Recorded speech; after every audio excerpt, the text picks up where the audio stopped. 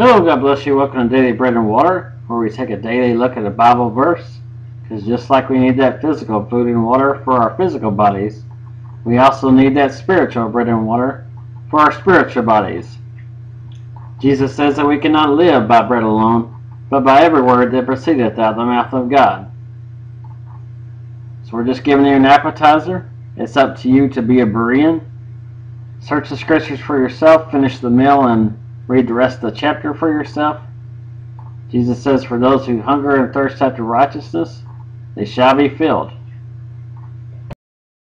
Today we'll be looking at two verses that I talk about quite often, but I think they're very important. First John chapter 1, verse 8. If we say that we have no sin, we deceive ourselves, and the truth is not in us. So if you go around thinking, telling people that you're perfect, that you don't have no sin, you're lying to yourself. And the truth of God is not in you. I like the addition in verse 10. If we say that we have not sinned, we make him a liar, and his word is not in us.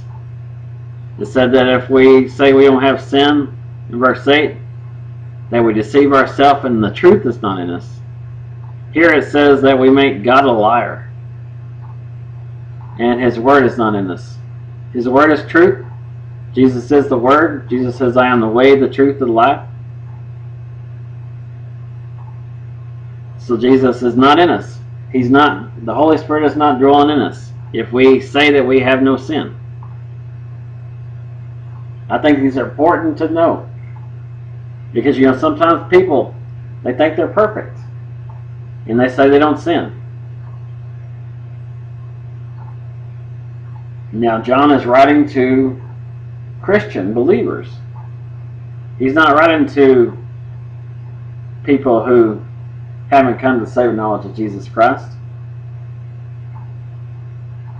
And he's saying if we say that we have no sin, we're deceiving ourselves. We're making God a liar. Because the truth of God's Word is not in us. So, I pray that you take this to heart. Know that you're not perfect, and no one else is either. There's no one above me. I'm not above anybody else. There's no one better than me. I'm not better than anyone else. You're not better than anybody else. They're not better than you. We all sin. We all fall short of the glory of God. So don't think you ever get to a point in this life. Now in the afterlife, when we're in heaven, then yeah, we will take off this corruption and put on incorruption. We'll take off the sinful nature and put on a sinless nature. But until that day comes, when we're still in this earth and we still have breath and before that trumpet sounds, we are going to mess up. We're going to sin. Because God's continuing to mold us into who He's wanting us to be. But it's not, it's not a finished product right away. We're still going to sin. And if we think that we got everything figured out, we're deceiving ourselves. Well, I pray you got something out of the video. If you did, give God glory.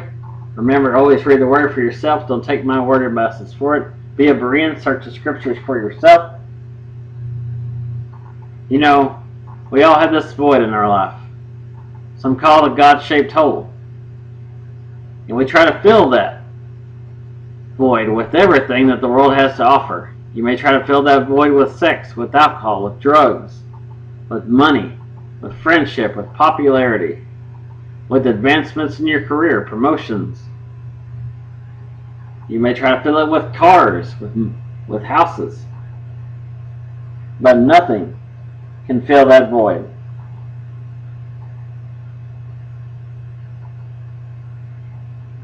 You know, you may try to fill that void and hit rock bottom or you may try to fill that void. You may achieve what you're seeking, whether it be houses or money or cars You may get that.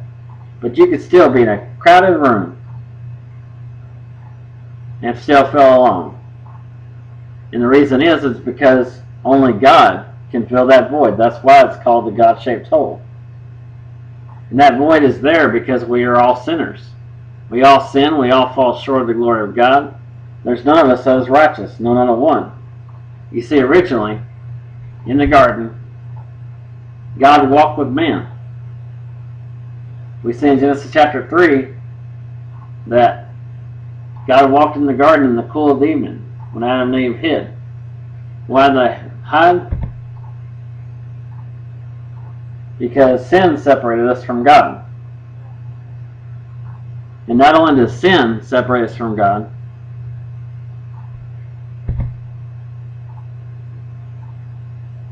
it creates a valley between God and man.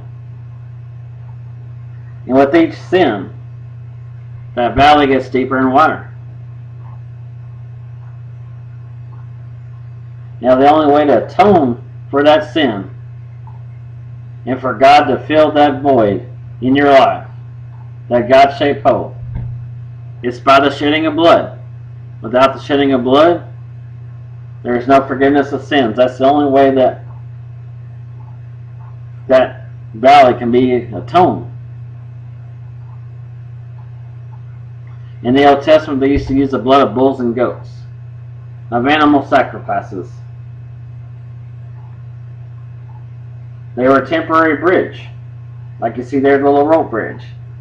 Why they're a temporary bridge is because as the person would sin again, they'd have to offer another animal.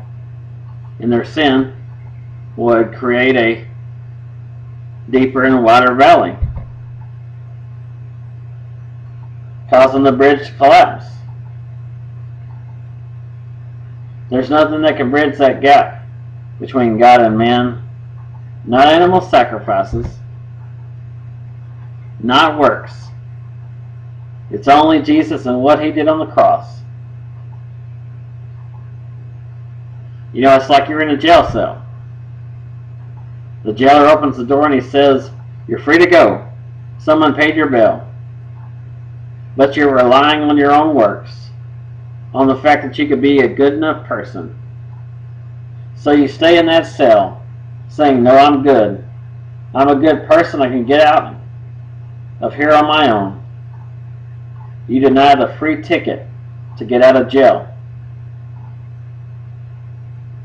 And if you let sin continue to create that valley, then you will be eternally separated from God.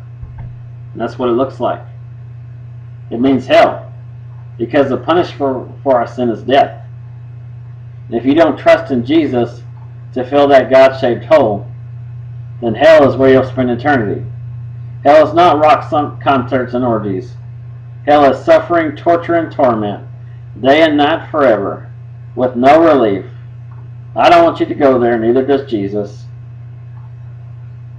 Jesus always existed. Jesus is God. Jesus left his throne in heaven. He became flesh. He wasn't an angel. He wasn't a ghost. He was flesh and blood and bone. He was born of a virgin. He was fully God and fully man. He wasn't a prophet. He lived a perfect, sinless life. He came to earth to die. That's why he left his throne in heaven was to die for us.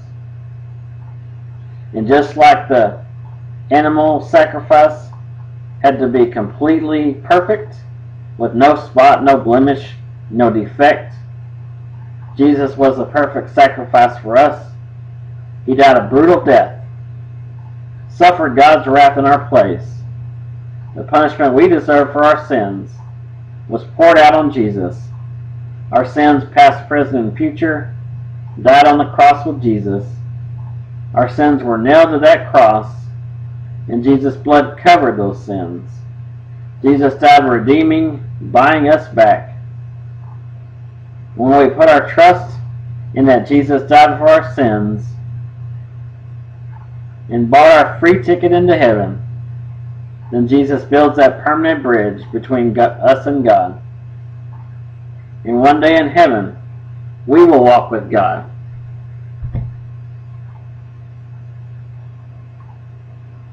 We'll see God face to face.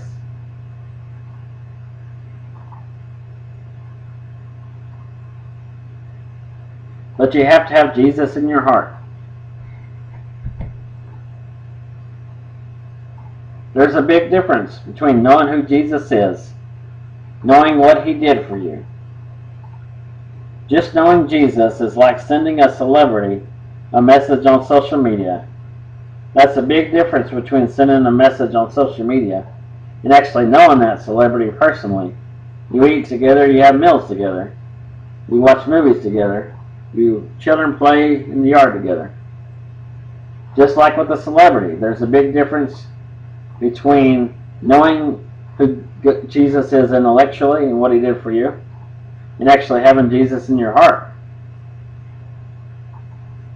Just knowing who Jesus is and what Jesus did for you is like me giving you a bottle of water. The bottle of water is in your hand and it's unopened. You're still thirsty because even though you're holding the bottle, you still have to do your part, open it and drink it. Jesus' sacrifice on the cross was like handing you the bottle of water. You have to do your part, believe in Him, and accept His free gift. When you have Jesus in your heart, you'll talk to Him in prayer. You'll read His Word, the Bible. You'll put Jesus first, before your family, before your job, before your money. Yeah, we'll still sin, but you'll you want to please Him. You won't want to do what you used to do. You want to please God. So Jesus is coming back to set up His earthly kingdom. And the requirement to enter the kingdom is that we must be absolutely, absolutely perfect, without sin. And there's no one that's without sin. All of us face eternal judgment and separation from God. That's why we must receive Jesus in our life as Lord. He is the only one that will live a perfect life for us and be, became the substitute for our sins. He rose from the dead, proving that he is God. Because death and the grave had no power over him. And he wants to save us from the penalty of our sins and give us eternal life. Though we must first individually receive him. This is what it means to believe in Jesus. And just like Works do not get you into heaven. Neither does just knowing who Jesus is. You have to have him in your heart. It's that simple. It's ABC simple, in fact. A is for admit. Admit you that you need Jesus. Admit you're a sinner in need of a Savior. Admit that you can't do this on your own, that you need Jesus. B is for believe. Believe in your heart that Jesus is who he says he was. Believe that Jesus died for your sins and was buried, and God raised him from the dead. Believe that he paid the price for your sins, and that Jesus died for you. C is for call or confess. Confess that Jesus is the Son of God. Confess that Jesus is Lord. Call in the name of the Lord. Confess, repent of your sins, which means repent means to turn away, to change your mind. Here's a sample prayer. Dear God, I am a sinner. I need your forgiveness because it separates me from you. Thank you for loving me so much that you sent your son Jesus to pay the penalty for my sin. I know I can never be good enough to earn salvation because it is a gift from you. I believe Jesus Christ lived a sinless life and was crucified, died, and was buried. And after three days you raised him to life again. I am sorry and I repent and turn away from my sins. I invite you, Jesus, to come into my life as my Savior. I accept your free gift of salvation and I place my trust in you only. Thank you, Jesus, and from this moment on, my life is yours. Amen. Just some little sample prayer like that don't have to be that exact prayer just something from your heart just crying out to Jesus, just turning to Him. When you do, you'll be saved. Because you know, you're not alive by accident. You were created for a purpose. God didn't just create you just to fill the earth. God had a plan for you. When God formed you in your mother's womb, God had a plan for your life. And when you accept Jesus' free gift and you invite Jesus into your life, then God gives you a new heart. And God begins to mold you into the person that He created you to be when He put you in His mother in your mother's womb. So say you want to build a house with some Legos. When you dump the Legos on the table, as you see here in the picture, it doesn't look like a house yet, does it? Now we have to snap the bricks together. And that's how God's molding us into who He created us to be. God's not throwing, just throwing us out there. He's continually molding us into who He created us to be. Because even though we're saved, we're still we still sin because we're unfinished. God's still working on us. He's still molding us into who He created us to be. And I'm not talking about religion here. I'm talking about how you can be saved today. Religion will put you in chains and will tell you what to do and what not to do. But Jesus will set you free right now. There is nothing that you need to do. So don't wait. Don't put off Jesus. Don't put them off till you get to the point in time in your life where you are financially secure or whatever it is you may be holding on to that you want to be have this before you come to Christ. Come to him now. Or don't wait till you stop a sin like say you don't you want to wait till you stop drinking. Come to him now and he will help you take that away. Because Jesus is really coming back very soon. And you don't have time to wait. Tomorrow just might be one day too late. And you don't want to miss it because you you want to do it tomorrow. Do it now. So turn to Jesus today. Well, I pray you got something out of this. If you did, give God glory. Can't wait to see what the Lord has for us tomorrow. Hope you have a great day. We'll see you tomorrow, God willing, or maybe we'll see you in the clouds.